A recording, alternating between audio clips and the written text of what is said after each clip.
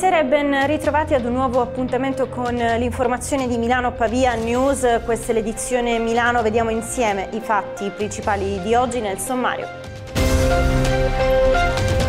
Area C più care e parcheggi limitati. Da oggi il ticket per entrare in area C passa dai 5 euro attuali ai 7,50 euro. La sosta a pagamento sarà consentita per una durata massima di due ore. I commercianti dicono no alla ZTL in centro, l'85% dei commercianti del municipio 1 di Milano è contrario a chiudere il centro città al traffico delle auto private.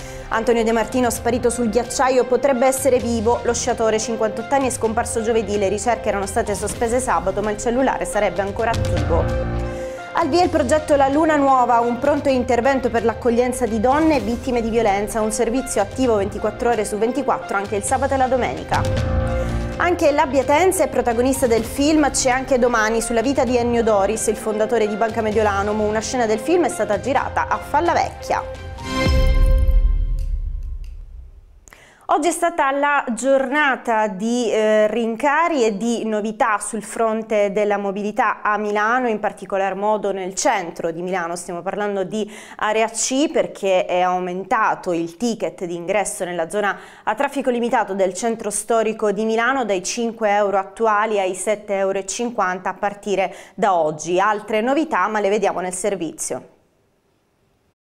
Il rincaro è servito. Un po' come tutto in tempo di inflazione galoppante, anche entrare nel centro di Milano diventa più costoso. Dal 30 ottobre infatti il comune ha rivisto al rialzo il ticket di ingresso sotto le telecamere dei bastioni da 5 a 7 euro. Un aumento del 50% che ha suscitato proteste e polemiche, ma che Palazzo Marino ha voluto per due ordini di ragioni. Innanzitutto gli aspetti della qualità dell'aria e del traffico sempre più congestionato nelle vie del centro centro. Resta da verificare se l'aumento in questione possa effettivamente rappresentare un deterrente o meno, ma questo solo il tempo potrà dirlo. Dall'altra parte c'è il fatto che in quasi 14 anni di vita il ticket di area C non sia mai aumentato, al contrario dei costi di manutenzione dell'infrastruttura. Con questo rincaro il comune conta di mettere a bilancio 15 milioni di euro in più all'anno di entrate. L'aumento del 50% colpisce anche i veicoli di servizio che pagheranno 4,5 euro mezzo invece di 3 e i residenti che pagheranno 3 euro una volta esauriti i 40 ingressi gratuiti. Da inizio ottobre inoltre l'accesso al centro è stato del tutto vietato ai veicoli per trasporto merci e agli autobus che abbiano motorizzazioni diesel Euro 4 o 5 e benzina Euro 2.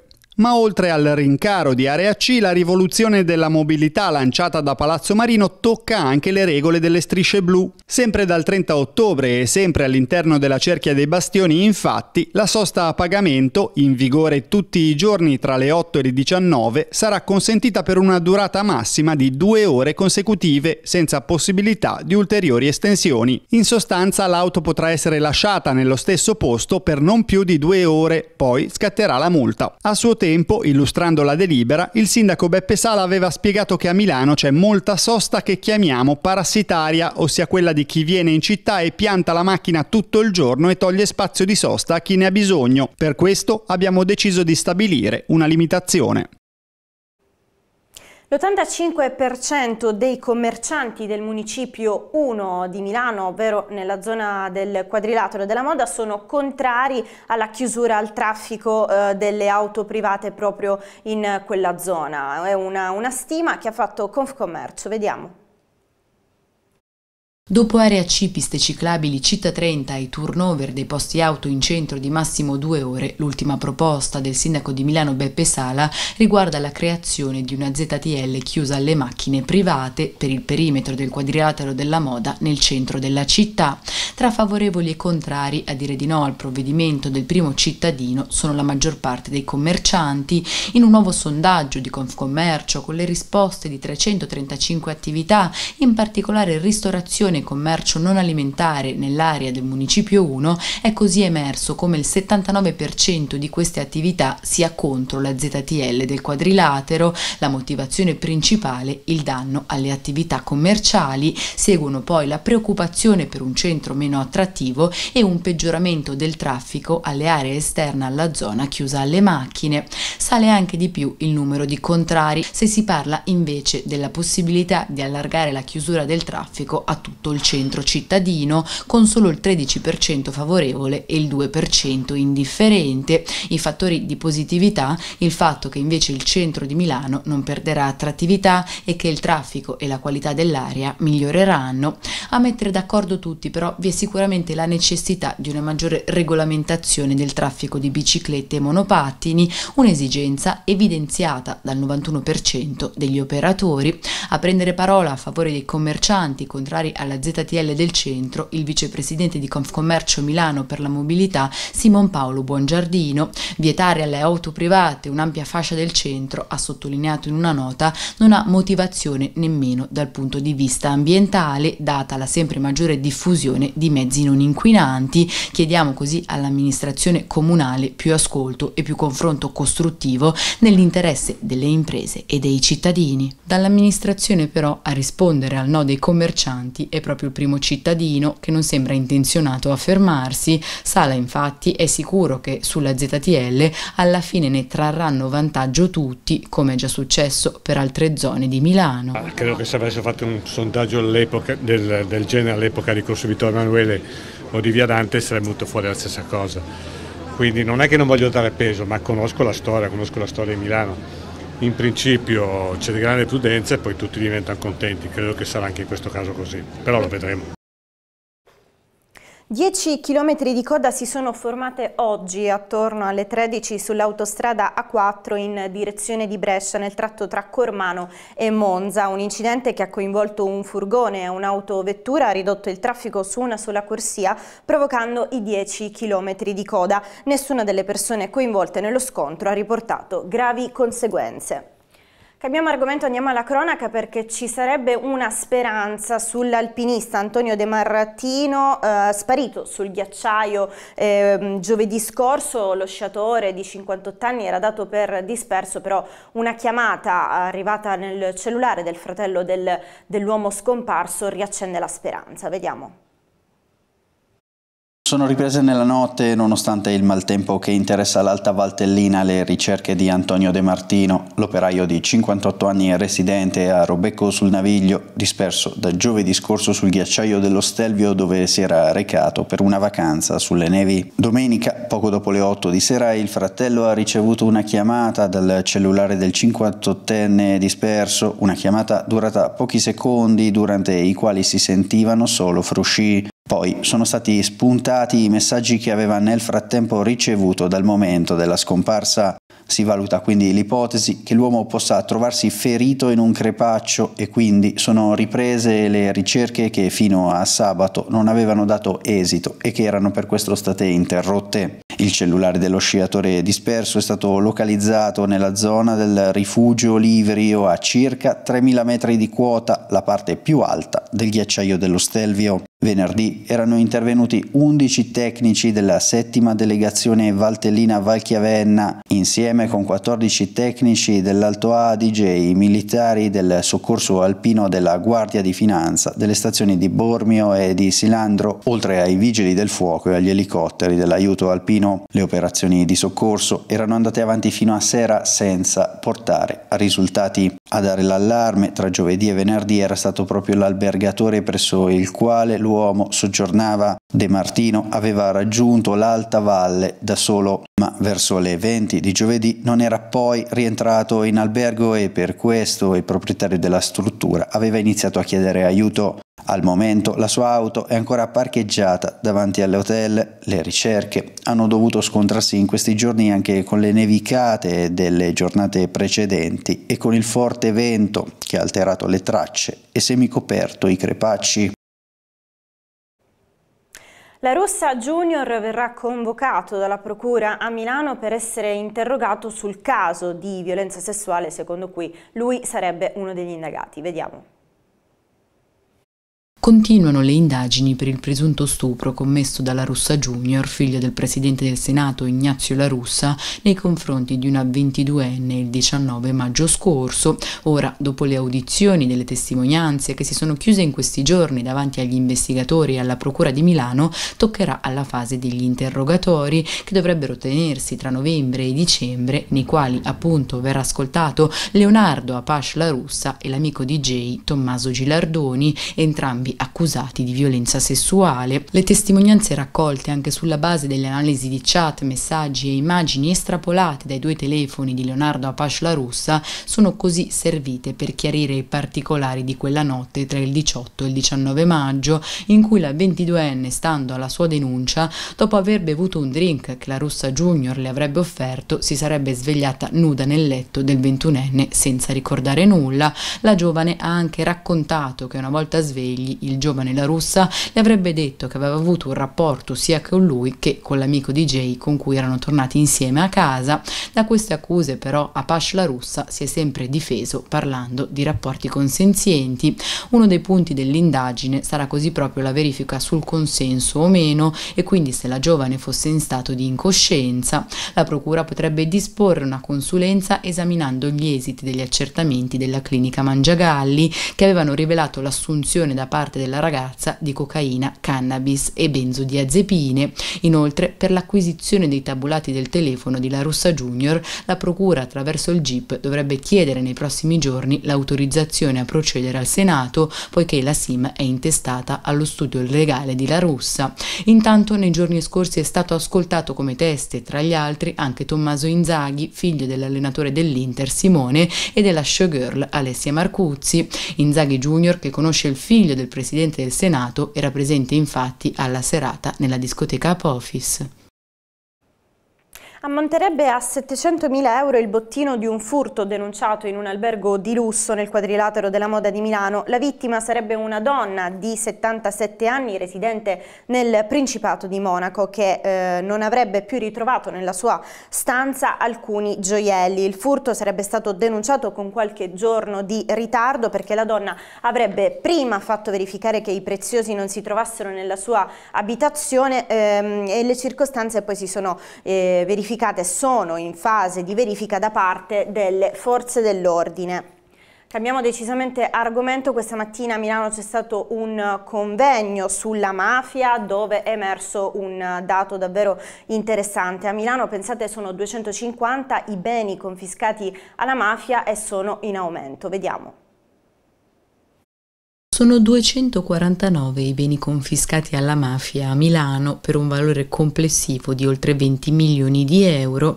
Sono i numeri resi noti dall'assessore al welfare comunale Lamberto Bertolè durante l'evento che si è tenuto al Teatro Franco Parenti di via Pier Lombardo in merito al Festival dei beni confiscati che si concluderà il 2 di novembre. Secondo i dati la maggior parte di questi beni confiscati sono appartamenti, seguono poi box, locali commerciali, magazzini magazzini, terreni e unità di MM di edilizia popolare. Il municipio con il maggior numero di beni confiscati è il municipio 3 dove sono 42, poi c'è il municipio 9 seguito dal municipio 2, l'ultimo è il municipio 1 nel centro con solo 6 unità confiscate. I beni confiscati a Milano ormai sono quasi 250 in continuo aumento, diffusi un po' in tutti i municipi della città beni molto diversi, sono appartamenti, box, terreni, esercizi commerciali, eh, una pluralità di luoghi e di spazi che ci conferma quanto la mafia sia radicata e presente nel nostro territorio, territorio, da molti anni. La Lombardia è la quinta regione italiana per numero di beni confiscati. L'obiettivo di questo festival è quindi far conoscere la presenza dei beni e quindi la presenza mafiosa nel nostro territorio, ma anche dare visibilità alla vittoria dello Stato che grazie a questa straordinaria legge consente di colpire i mafiosi non solo personalmente e penalmente, ma anche dal punto di vista del loro patrimonio, dando più forza al sistema di welfare, perché noi abbiamo luoghi, spazi da assegnare per dare risposte ai bisogni sociali delle persone, ma anche per promuovere economia civile, quindi un'economia non solo finalizzata al profitto, ma allo sviluppo della persona, dei contesti, delle comunità e questa è una cosa molto importante per ovviamente togliere ossigeno, alimento alle, alle mafie. Tra tutti i beni confiscati 138 sono affidati ad enti del terzo settore per progetti di residenzialità ospitalità, progetti nei quartieri, di diritti e di inclusione sociale e inerenti alla cultura della salute. Il bene confiscato più grande da Lombardia è Casa Chiaravalle, quindi periferia della città, eh, è un luogo abitato da un mafioso che adesso è un luogo di accoglienza straordinario. Poi abbiamo in centro a Milano, in via Curtatone, un eh, ex studio legale confiscato nel, alla fine degli anni 90, quindi uno dei primi beni confiscati a Milano, che oggi è uno spa spazio che promuove cultura della legalità, aggregazione per i giovani e quindi questo ci dà l'idea di come un luogo dove si facevano profitti, dove si coprivano i traffici, dove si sostenevano i mafiosi, adesso è un luogo che promuove cultura aperta a tutto il territorio. Al via il progetto Luna Nuova in Lombardia, un pronto intervento per l'accoglienza delle donne vittime di violenza aperto 24 ore su 24 tutti i giorni. In Italia da gennaio ad oggi sono stati commessi 96 femminicidi, 77 di questi sono avvenuti in famiglia, numeri che fanno raggelare il sangue e che raccontano di un paese che ha ancora tanta strada da fare su questo fronte. E tra i primi passi da compiere c'è la prevenzione, perseguibile solo con l'attivazione di sentinelle sul territorio, presidi medici e psicologici, che possano intercettare le situazioni di potenziale pericolo e disagio e intervenire per tempo. È questo il senso del progetto La Luna Nuova, che lavora per dare accoglienza alle donne vittime di violenza, con o senza figli, e che nasce dalla collaborazione tra l'Associazione Telefono Donna e la SST, Grande Ospedale Metropolitano Niguarda. La Luna Nuova è un servizio che inauguriamo oggi, un servizio che viene sostenuto da Regione Lombardia con apposito bando, intende garantire il pronto intervento a tutte le donne e ai loro figli che si presentano ai pronti soccorsi dell'ospedale Niguarda e degli altri PS afferenti l'ATS città metropolitana per garantire un'accoglienza immediata, per evitare che rientrino al loro domicilio laddove non abbiano spazi di sicurezza e di copertura ideale e per evitare che vengano anche quando va bene ricoverate in attesa che si trovi una collocazione ideale. E molto spesso purtroppo i maltrattamenti portano ad arrivare a livello ospedaliero, lì ci vuole la, la capacità dell'operatore di intercettare il problema perché alcune volte sono manifeste, altre volte veramente sono simulate. A questo punto parte un po' la sinergia con Telefono Donna, con le loro operatrici che inquadrano il problema si prendono carico della donna e anche della, eventualmente dei minori presenti e poi inizia l'iter di primo soccorso nel momento in cui c'è aspetto emergente del pronto soccorso e poi continua rispetto ad accogliere appunto nelle loro case di rifugio dove comunque si riesce ad avere un'assistenza più strutturata. Il protocollo sperimentale su cui si fonda il progetto ha coinvolto anche ATS Città Metropolitana di Milano, i medici di medicina generale e i pediatri di famiglia, ricevendo anche il supporto supporto del Comune di Milano e degli ordini professionali degli avvocati, degli assistenti sociali e dei farmacisti, perché la lotta alla violenza di genere si può vincere soltanto se si è in tanti a combatterla. I danni del maltempo a Trezzano sul Naviglio non hanno ostacolato il bilancio partecipativo, 100.000 euro per i cittadini. Vediamo. È un tesoretto di 100.000 euro quello messo a disposizione a Trezzano sul Naviglio per il bilancio partecipativo 2023, un'annata in cui le casse del comune hanno dovuto faticare non poco per far quadrare i conti fra costi dell'energia in aumento in inverno e interventi d'emergenza in estate per rispondere ai danni provocati dal maltempo che a Trezzano ha assunto la forma di vere e proprie calamità. Ora è tempo per i cittadini di far pervenire le proprie proposte su come spendere questi 100.000 euro prima del voto in programma per la metà di gennaio del 2024. Effettivamente il bilancio è sempre, è sempre un documento difficile da redigere, poi alla luce dei gravi eventi atmosferici che si sono sviluppati quest'anno sicuramente la disponibilità delle risorse si riduce, però sotto questo profilo siamo stati lungimiranti perché sin dal, dall'anno scorso abbiamo programmato anche per il 2024 e 2025 l'iniziativa del bilancio partecipativo. E vorremmo mantenere l'impegno ed è quello che stiamo, stiamo facendo perché comunque le emergenze non devono andare a discapito della partecipazione finché è possibile chiaramente e penso che siamo incanalati sulla strada giusta. La solidità del bilancio ci permette di fare l'uno e l'altro e quindi di questo siamo, siamo soddisfatti, siamo sicuri di incrociare la domanda della città anche in questa forma. Le proposte possono sopraggiungere da singoli cittadini o associazioni e dovranno riferirsi a una delle tre aree tematiche prescelte dal Comune giovani e sport, socialità e volontariato oppure lavori pubblici, ambiente e mobilità. Il lavoro di questi anni come amministrazione comunale ha portato il bilancio comunale del comune di Trezzano sul Naviglio ad avere risultati molto importanti, abbiamo recuperato milioni di euro sull'evasione fiscale e questo ci consente di affrontare tutte le problematiche che si presentano come le ultime tempeste estive e i danni relativi nel miglior modo possibile ma nello stesso tempo però chiediamo sempre aiuto alle istituzioni superiori perché è evidente che dobbiamo detrarre eh, risorse per le emergenze che invece erano destinate a importanti programmi di sviluppo della nostra comunità. Tra questi abbiamo previsto 100.000 euro per il bilancio partecipativo per fare in modo di avere spunti, eh, idee, proposte eh, per il territorio di Trezzano sul Naviglio appunto dai cittadini, dalle associazioni, dai comitati di quartiere e cominciamo questo iter con la presentazione, poi ci saranno le idee che verranno votate dai cittadini stessi, perciò un bel impegno che ci tiene insieme per rendere più viva e partecipata la nostra comunità.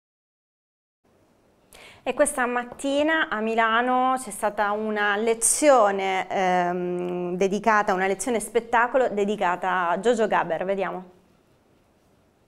Cantava le ipocrisie del nostro mondo, le storture della nostra società e l'importanza di un pensiero libero. Giorgio Gaber è scomparso quasi 21 anni fa, il primo gennaio del 2003, ma le sue parole, le sue canzoni rimangono un patrimonio non solo culturale, ma anche e soprattutto intellettuale. Anche per questo il Consiglio regionale ha voluto organizzare una lezione spettacolo per ricordarlo e per farlo conoscere ai più giovani. Giorgio Gaber, cosa dire? Un visionario, una persona diretta, inventò il teatro canzone. Saranno proiettati qui, lo sono anche in questo momento, video emozionali su come sapeva agitare le folle, il pubblico, con eh, la sua voce i suoi toni diretti. Insomma, la figura di Gaber è una figura che ricordiamo ancora oggi, ogni anno la ricordiamo in questo auditorium che porta appunto il suo nome, insomma un grande milanese, un grande lombardo. Ad organizzare l'evento gratuito è stata la Fondazione Gaber e ha visto tra il pubblico la presenza di quasi 200 tra alunni e professori di cinque scuole superiori di Pavia, Seriate, Carbagnate Milanese, Busto Arsizio e Milano. Due ore di esibizioni, ricordi personali e video d'epoca per ripercorrere i momenti salienti della vita del signor G e del suo pensiero, dalle diseguaglianze sociali alle condizioni di vita delle grandi città industriali, dalla libertà e l'impegno politico alla forza interiore delle idee. Crediamo, confortati dalle istituzioni, come per esempio il Consiglio regionale, che Gaber sia ormai riconosciuto come un classico della cultura italiana. Per cui in quanto classico noi come fondazione dobbiamo fare tutto quello che è possibile fare per poterlo proporre al, al, pubblico e dare la possibilità ai giovani di avvicinarsi e quindi quando si avvicinano avere un repertorio a disposizione dei ragazzi, libri, eh, video, registrazioni audio e quant'altro crediamo che sia, possa essere importante perché come tutti i classici della cultura italiana può essere una fonte importante di nutrimento artistico e intellettuale. È stato completato il restauro dell'oscurolo di San Carlo nel Duomo di Milano. A darne notizia dopo due anni di lavori e della veneranda fabbrica del Duomo sono state sistemate le parti rovinate e pericolanti in legno, quelle in argento e la tappezzeria. Il luogo che ospita le spoglie di San Carlo Borromeo, copatrono dell'Arcidiocesi di Milano, tornerà ad essere aperto al pubblico a partire da sabato 11 novembre. La cerimonia che segnerà la fine dei lavori che si terrà invece il 3 novembre con il Monsignor del Alpini nella ricorrenza di San Carlo. Invece il comune di Fallavecchia è, stata, eh, protagonista, è stato protagonista di una delle scene del film ispirate alla vita di Ennio Doris.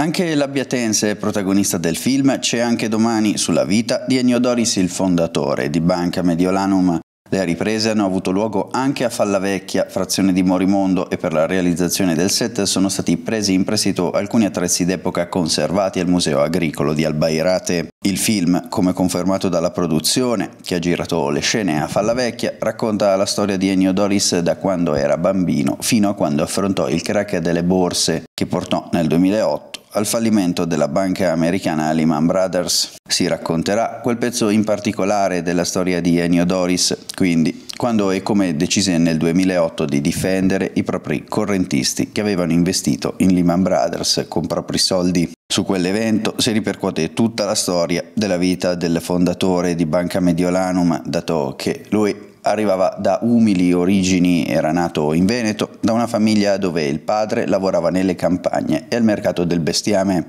Per questo si è cercato di ricreare il mercato come fosse stato quello di Tombolo, il paese natale di Ennio Doris. Nella scena di Fallavecchia in particolare viene ricreata una compra-vendita del bestiame in un momento in cui il fondatore di Banca Mediolanum aveva circa 10 anni.